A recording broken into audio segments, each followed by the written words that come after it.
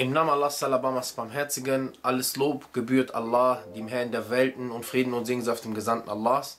Liebe Geschwister im Islam, äh, kommen wir zum Hadith der Woche äh, Nummer 7, sehen wir glaube ich jetzt mittlerweile, wenn ich mich nicht täusche. Auf jeden Fall, ähm, wir werden den nächsten Hadith der Woche jetzt heute zitieren.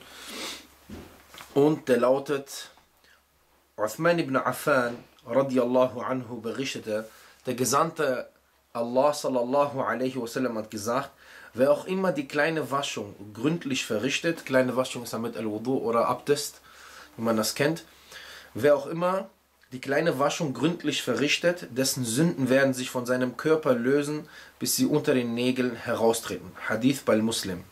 Ja, ich wiederhole mal nochmal den Hadith, weil hier geht es um eine Angelegenheit, die wir ständig machen. Im Endeffekt fünfmal am Tag mindestens wenn man, falls man sein Wudu nicht hält und damit ein oder zwei Gebete verrichtet.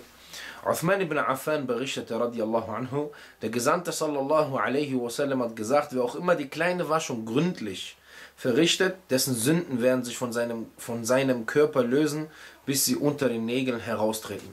Al-Hadith bei Sahih Muslim, ein sehr schöner Hadith, geht sich um, wie gesagt, Al-Wudu oder Abtest.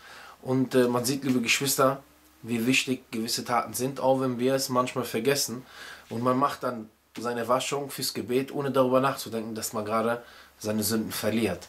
Äh, ich hoffe, der Hadith bringt Nutzen. Möge Allah Azzawajal unsere Sünden vergeben. Wa fikum. Bis nächste Woche mit dem neuen Hadith der Woche. Assalamu alaikum wa rahmatullah.